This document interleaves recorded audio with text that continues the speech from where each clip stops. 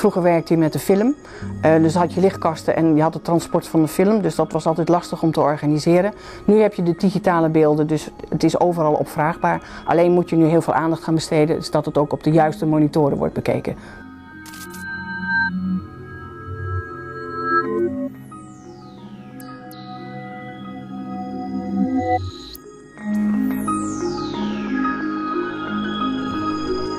Naast de kwaliteit moet je ook zorgen dat de kwaliteit eh, geborgd blijft. Dus dat je niet eenmalig iets goed neerzet, maar dat je ook zeker weet dat het in, in de loop van het gebruik ook goed blijft.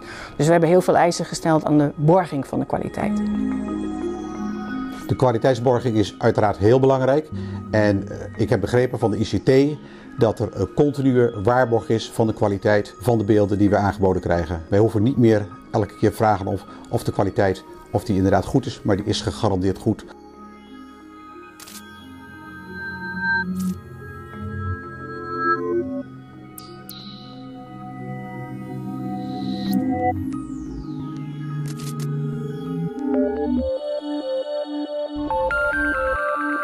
Een klinische monitor moet voldoen aan een aantal voorwaarden. En de belangrijkste voorwaarde is continue kwaliteit. Waar dan ook in het ziekenhuis moet de monitor hetzelfde beeld laten zien. Vroeger hadden wij standaard monitoren waarbij de kwaliteit nogal te wensen overliet. En dat was voor ons onacceptabel. Niet alleen op het gebied van de röntgenopname, maar ook van de medische fotografie. Het is namelijk ook van belang dat je foto's voor en na bepaalde ingrepen kunt vergelijken. Dat heeft ons doen besluiten om over te gaan tot andere monitoren. En dat werden de Barco-monitoren waarvan is gebleken dat de kwaliteit gedurende het hele jaar overal hetzelfde is. De voordelen van een Barco klinische monitor ten opzichte van een standaard monitor is dat je een veel hogere witwaarde kan afregelen. Je kan hem DICOM kalibreren, maar hij houdt ook de, de afgeregelde witwaarde veel langer vol. Dus hij heeft een veel langere levensduur dan een standaard monitor. We weten van de artsen dat die vaak in een polyklinische omgeving toch met een vrij hoog omgevingslicht zitten.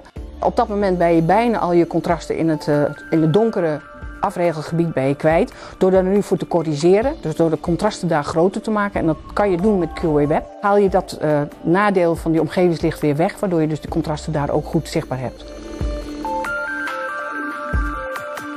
Medical Web zorgt ervoor dat de kwaliteit door de tijd heen wordt bewaakt, omdat je een continue borging hebt over de uitsturing van je backlight. En op het moment dat die uh, zakt onder bepaalde criteria, krijg je daar een seintje van. Dus dan is de borging blijft over de tijd bewaakt. QA Web heeft uh, zeker het werk van de functioneel beheerders heel erg veranderd. Wat je vroeger had bij, uh, bij film is dat ze één keer per half jaar alles moesten nameten en moesten aanpassen. Datzelfde zou moeten gebeuren als je klinische monitoren gebruikt die, die niet onder QA Web draaien. Dan moet je gewoon één keer per half jaar moet je langs de monitoren om te controleren of ze nog allemaal goed zijn. Dat hoeft nu niet meer, dus je hoeft alleen maar in te grijpen op het moment dat er echt iets mis is. Een ander groot voordeel van Medical Web vind ik het feit dat je het in een, een plug-and-play oplossing aan ICT ook kan aanbieden. Dus je hoeft alleen maar aan te geven welke type monitoren, welke videokaart of eventueel anders en welke softwarepakketten er op het uh, werkstation nodig zijn. En daarna kan het overal worden uitgezet en je bent eigenlijk gegarandeerd dat de kwaliteit dan ook goed is.